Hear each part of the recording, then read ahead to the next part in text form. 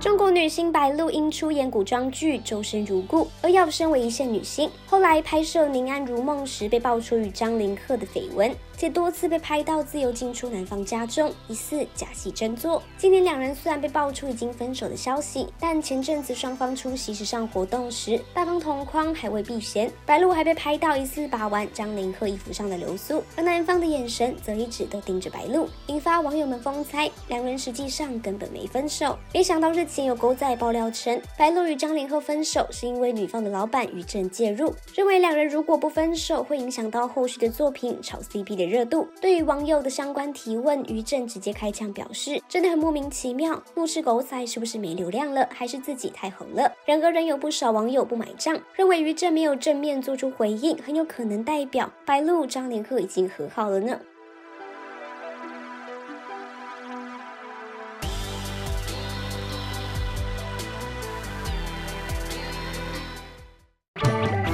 Oh,